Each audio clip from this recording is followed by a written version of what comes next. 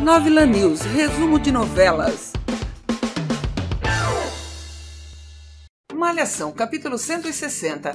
Kátia pede perdão a K1 e afirma que chamou a polícia para prender Roger. Phil sugere que Benê fale com Anderson para produzir sua nova música. Kátia pede que Doris ajude K1 a voltar para sua casa. Juca repreende o comportamento competitivo de Ellen e Jota.